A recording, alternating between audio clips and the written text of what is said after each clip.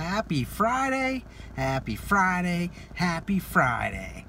So the last time I said that to you guys, I was actually starting my 90 day challenge, which was a week ago.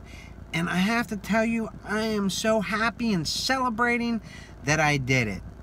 I did it consistently for 90 days. Now, what did I do? I posted a video out there on social media, meaning LinkedIn, Facebook, Instagram, and YouTube. All four of those platforms. I just uploaded my video. So that was the number one thing was, you know, just getting consistent, doing a video, getting content online. The other thing I did was exercised. I did 30 minutes at least, and I did a lot more some days.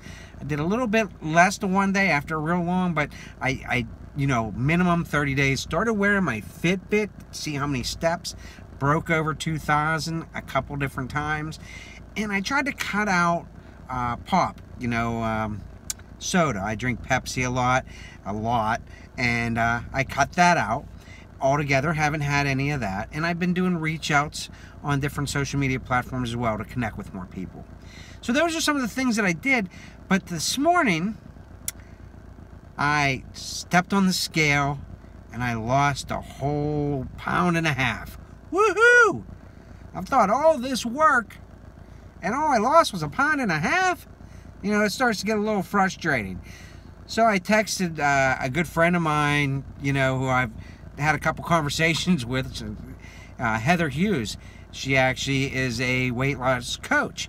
And we texted back and forth and she gave me some tips to work on and uh, some things like that over the over the next week and you know just said you know seven days really isn't that long for weight loss which you know when you watch the biggest loser and things like that um, on TV and they lose such big amounts you know so quickly um, you know it it gets depressing when you don't lose. At least I didn't gain, but I, I really didn't lose. So I'm going to just keep staying consistent with this, and I'm going to try to adjust some things uh, that maybe can work a little bit better.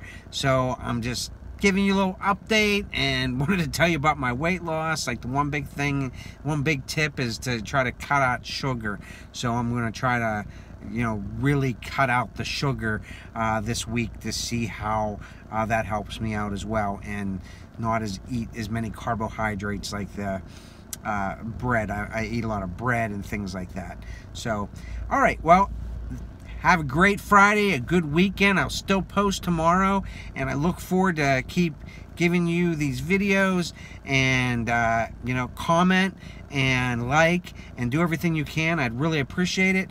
You have a great weekend. Uh, you know, have a great day. You deserve it. Signing off.